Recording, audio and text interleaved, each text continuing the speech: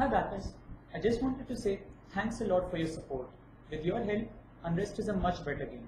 Now let Refscan do the talking and introduce the new art style to you. Thanks.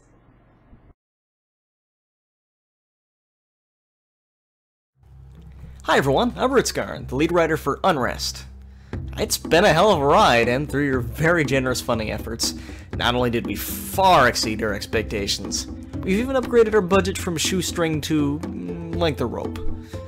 Since it is the final days, let's talk a little bit about what you funded.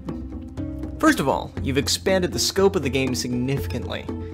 New quests, new NPCs, more places in the city to explore, even a new chapter.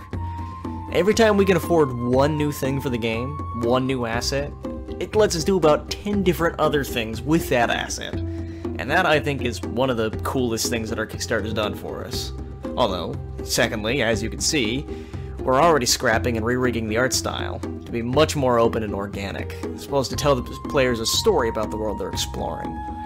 Now, this is by no means the final product you're looking at right now, but as a work in progress, it's pretty representative of what we're going for.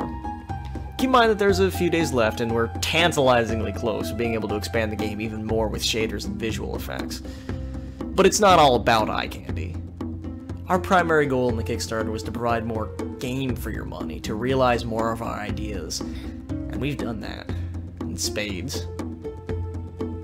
As a lead writer, I've already flowcharted out all the new quests and sidelines and chapters, and believe me, I can't wait for you to play this game.